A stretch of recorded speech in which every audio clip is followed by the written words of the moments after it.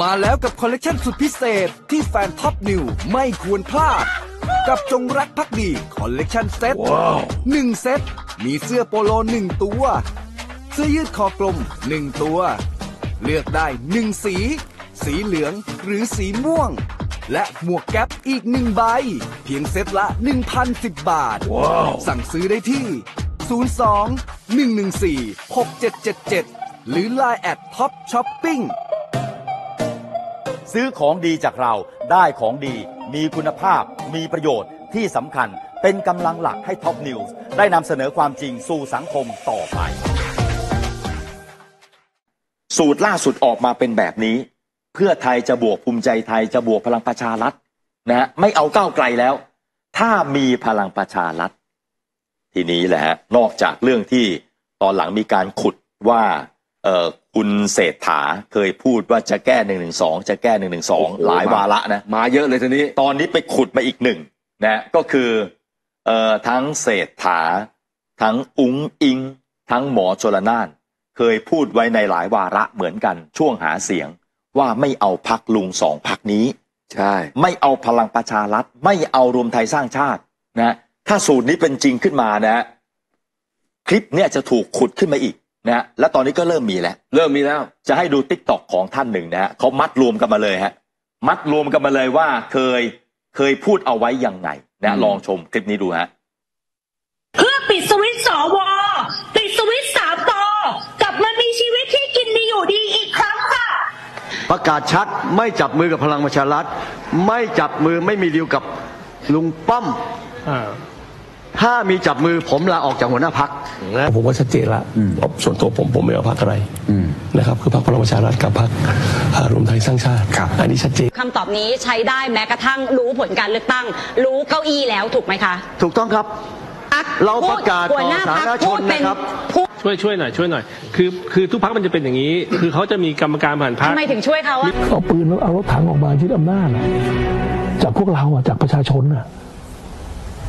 แล้วคุณคิดว่าคนอย่างผมและเศรษฐาอยากไปร่วมกับเขาเหรอผมอยากเป็นนายกรัฐมนตรีซึ่งนำมาซึ่งความเปลี่ยนแปลงได้แล้วผมต้องเกรงใจพักร่วมอย่างที่ต้องบิดเบีนตัวตนของผมเองเนี่ยผมต้องไม่หลับผมไม่เป็นเวลาเลยผมเชื่อมั่นว่าพี่น้องประชาชนทุกคนเขารู้ครับ ถ้าพักเพื่อไทยไปหัก ความต้องการของพี่น้องประชาชนที่แท้จริงเนี่ยพักเพื่อไทยเตรียมไปเป็นพักเหมือนบางพักได้เลยฮะต่ำสิบ ต่ำสิบเห็นไหมอืมเตรียมไปเป็นเหมือนกับพักบางพักได้เลยนะฮะต่ำสิบต่ำสิบนะฮะแล้วหมอชลนานแบบโอ้โหพูดชัด ผมลาออกจากหัวหน้าพักเอาผมลาสิออกจากหัวหน้าพักถ้าสูตรที่โชว์เป็นจริงขึ้นมานะฮะโอ้โห คลิปจะถูกขุดขึ้นมา แล้วเศรษฐาพิเศษเนี่ยรับไปเยอะเลยนะฮะโอ้พิเศษเนี่ยเรื่องแก้หนึ่งหนึ่งสองก็พูดหลายครั้งหลายคลิปนะพี่เศหลายษคลิเนี่ปยฮะนะและคลิปนี้ยังไม่หมดยังมีอีกคลิปหนึ่งนะฮะพูดเรื่องที่จะไม่รวมกับ พักสองลุงเนี่ยอะลองลองฟังอีกคลิปหนึ่งของคุณเศรษฐานะฮะ พักเพื่อไทยจะไปร่วมกับเขาหรือเปล่า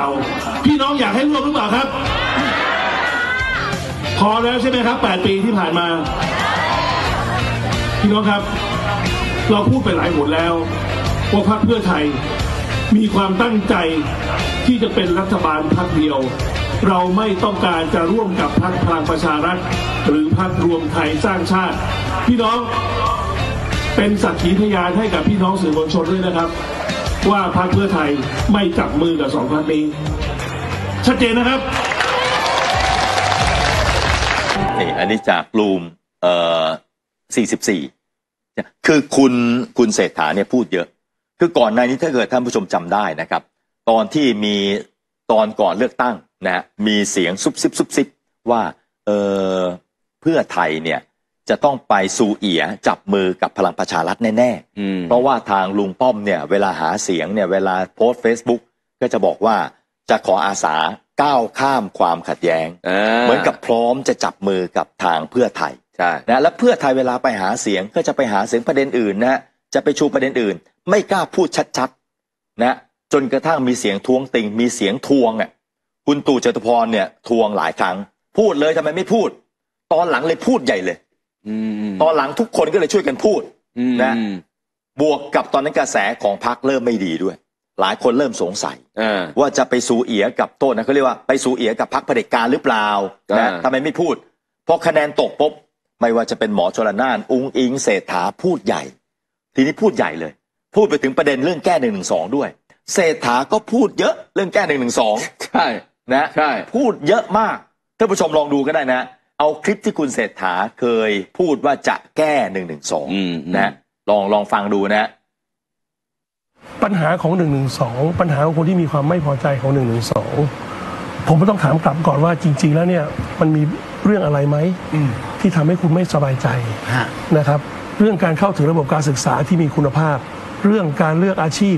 เรื่องการไม่มีการเส้นสายที่มีกลุ่มคนอภิสิทธิชน มาตั้งวงสังคม เอาเปรียบพี่น้องประชาชน การเข้าถึงระบบสาธารณสุขที่ถูกต้อง การได้รับวัคซีนตามที่จะได้รับวัคซีน สิทธิในการเลือกเพศสภาพ ถ้าเกิดมีรัฐบาลที่เทคแคร์ดูแลสิ่งเหล่านี้เกิดขึ้นแล้ว เป็นที่พอพอใจแล้ว ผมมั่นใจว่าคนรุ่นใหม่จะมีความสบายใจขึ้น แต่ถ้าเกิดยังมีความไม่สบายใจ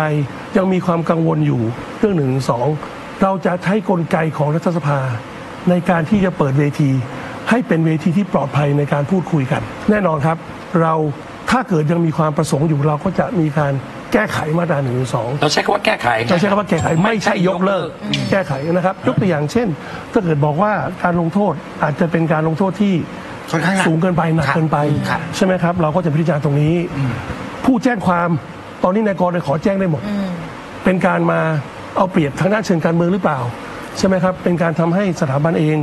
ต้องเดือดร้อนหลายๆคนเดือดร้อนครับโดยที่เป็นเครื่องมือทางการเมืองหรือเปล่า ตรงนี้เราต้องพิจารณาฮะเราต้องมาหยิบยกมาคุยกัน ในเวทีที่ปลอดภัยนี่ฮะตัวจริงเสียงจริงเศรษฐาทวีสินเห็นไหมฮะท่านผู้ชมฮะแล้วแก้เนี่ยนะฮะสอดคล้องกับก้าวไกลจะแก้เลยนะเออแก้ให้ลดโทษลงมา แก้ให้ใครจะไปฟ้องเหมือนเดิมไม่ได้ ใช่ ต้องให้ตัวแทนสำนักพระราชวังไปฟ้องใช่ไหมฮะนี่เศรษฐาเขาใช้คำว่า เออมีการกลั่นแกล้งกันทางการเมืองทำให้สถาบันเดือดร้อนอืมสถาบันไม่เดือดร้อนนะอืมแต่ถ้าเกิดคุณจะให้สถาบันเป็นคนลงไปแจ้งความเอง อันนี้อะสถาบันเดือดร้อน ใช่เห็นไหมใช่เศรษฐาก็พูดเยอะตอนนั้นพูดเยอะเป็นต่อยหอยเลยนะฮะทีนี้แหละฮะตัวเองมีโอกาสจะถูกเสนอเป็นแคนดิเดตนายก พลิกลิ้นแล้วท่านผู้ชมฮะพลิกลิ้นนะฮะลองฟังเศรษฐาณวันสองวันนี้นะฮะ เรื่องหนึ่งสองเนี่ยมันค่อนข้างที่จะเป็นอุปสรรคสำคัญ หากครั้งนี้พรรคเพื่อไทยได้เป็นแกนในการ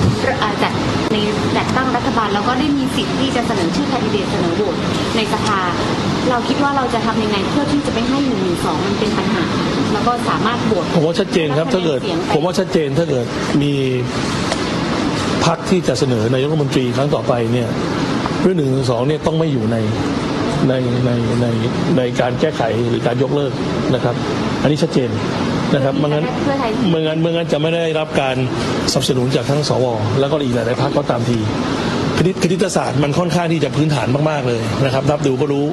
นะครับว่าเรื่องอะไรเป็นอะไรมันนะครับมองดูวิธีแล้วว่าวิธีไหนที่จะทำให้หนึ่งหนึ่งสองไม่อยู่ในในในเงื่อนไข ที่จะทำให้แบบคนเข้าใจเพื่อไทย แล้วก็เข้าใจก้าวไกลมากที่สุดว่าเราไม่ได้หันก้าวไกลเลยผมคงพูดแทนก้าวไกลไม่ได้นะครับ แต่ว่าของพรรคเพื่อไทยนี่เราคงต้องมีการพูดคุยกันนะครับชัดเจนถ้าเกิดเราจะเป็นแกนนำเรื่องนี้ก็ต้องเป็นเรื่องที่ต้องที่ต้องที่น่าจะต้องหยุดลงไปนะครับเขียนตำหนักหนึ่งค่ะเป็นปัญหาเรื่องหนึ่งหนึ่งสองเนี่ยถ้าเกิดเพื่อไทยได้เสนอโหวตแคนดิเดตแล้วเราไม่เอาหนึ่งหนึ่งสองเข้ามาภายในพรรคเพื่อไทยใช่ไหมครับกับก้าวไกลนี่มันจะเป็นการถกกันหนักเลยค่ะ ไม่แน่ใจเหมือนกันเพราะผมไม่ได้เกี่ยวข้องด้วยกับกับกับการเจรจา แต่ถ้าเกิดถามผมความเห็นส่วนตัวเนี่ยถ้าเกิดมีหนึ่งหนึ่งสองอยู่ก็คงไม่ได้รับการสนับสนุนจากพรรคหลายๆพรรคนะครับ ที่เกี่ยวข้องด้วยนะครับใช่ไหมฮะคุณเศรษฐาใช้คำว่าคณิตศาสตร์ง่าย ๆ เลยคือเราต้องการสามเจ็ดหกเนี่ยถ้าเรายังจะแก้ หรือว่าเราจะยกเลิกหนึ่งหนึ่งสองเราก็ไม่ได้เสียงจากสวแน่อืมฉะนั้นเราไม่แก้แน่อืมไม่แก้เลยนะตอนนี้อย่าว่าแต่ยกเลิกเลยแก้ยังจะไม่แก้เลยนะฮะนี่นี่เศรษฐาคนเดิมนะฮะใช่ เศรษฐาใช่คนเดิมเพียงแต่ลิ้นเนี่ยเปลี่ยนไป และด้วยความที่เอ่อวันสองวันนี้เนี่ย คลิปของเศรษฐาทวีสินที่บอกไม่แก้เอ่อที่บอกจะแก้หนึ่งเออสองเนี่ยออกมาเยอะเนี่ยว่อนเลย มันทำให้มีข่าวว่าเพื่อไทยเองก็ชักไม่แน่ใจแล้วเออว่าเสนอชื่อเศรษฐาในวันที่สี่ไปเนี่ย สวเขาจะโหวตให้หรือเปล่าอ่าสวเขาจะโหวตให้หรือเปล่า สวเองก็ต้องมองแล้วว่าหนึ่งคุณเคยบอกว่าจะแก้นะอืมใช่ไหมฮะ อันนี้แหละคือสิ่งที่สวเขาก็ระแวงสองก็ยังระแวงไปทั้งพรรคเพื่อไทยอีกว่า พอเป็นรัฐบาลแล้วเนี่ย คุณจะดึงก้าวไกลกลับมาร่วมรัฐบาลไหมอืมอันนี้ก็เป็นอีกปัญหาหนึ่งอีกอืมฉะนั้นเนี่ยในภาวะแบบนี้อย่างที่เรารวมเสียงมาให้เนี่ยสามร้อยกว่าเสียงยังขาดสามร้อยหกเสียงเมื่อสักครู่นี้เออยังขาดอีกประมาณเจ็ดสิบเสียงนะเออถึงจะสามร้อยเจ็ดสิบใช่เนี่ยใช่มันก็จะเป็นภาระของเพื่อไทยว่าจะไปหาจากไหนใช่ครั้นที่จะไปบอกก้าวไกลว่าเฮ้ยผมเคยโหวตให้คุณคุณต้องโหวตให้ผมด้วยนะ ถ้าก้าวไกลยอม